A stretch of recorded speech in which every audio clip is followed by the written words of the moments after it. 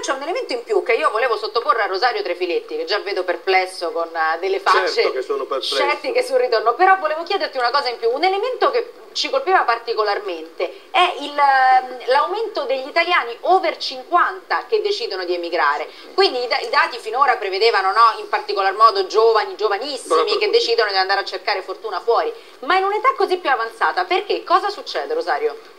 Beh, eh, succede una cosa che non dovrebbe appunto succedere, perché mentre i giovani i giovani, eh, ahimè, stanno aumentando di anno in anno, anzi le stesse cifre che avete date, guardate che eh, si dice che siano anche sottostimate perché sono sbagliate, dillo chiaramente che sono no, sbagliate. Dice che addirittura sottostimate più del 9%, quindi, quindi una quantità... Sì, sì, è perché si dice che eh, bisognerebbe moltiplicare per 2,5. Queste sono le cose che si dicono nei vari ambienti, perché anche nel calcolo c'è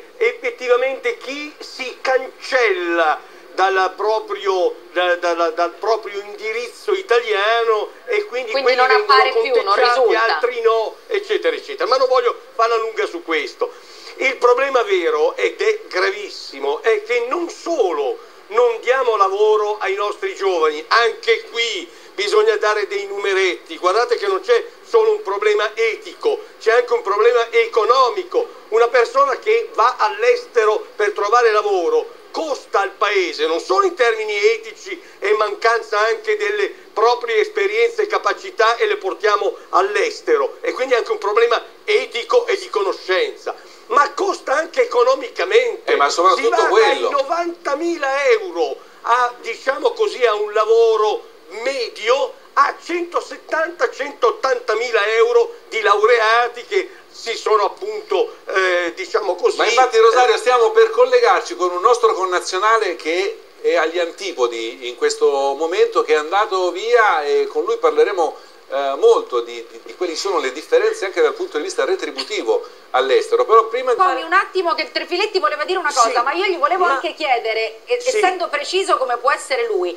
delle macro politiche di questo governo, lui ha citato dei provvedimenti precisi, ma le macro politiche che questo governo sta facendo possono davvero incidere nel rientro no, in Italia dei giovani? No, purtroppo no. Allora la questione vera è la domanda che mi, che mi avete fatto prima, quella della novità che sono i cinquantenni sì, che cominciano a uscire per trovare lavoro. Il problema gravissimo dei giovani lo conosciamo, sappiamo benissimo che c'è una caduta molto forte degli investimenti e qui già rispondo alla seconda domanda che è quella del fatto che non si investa a sufficienza nelle macro eh, politiche che si fanno per quanto riguarda il contrasto alla disoccupazione. Guardate, gli investimenti sono calati dal 3% del prodotto interno lordo al 2%. Ma questo governo li ha aumentati pubblici. però, questo governo li ha aumentati gli investimenti pubblici. No, il problema vero è che no? anche qui ah, su una domanda, no? su una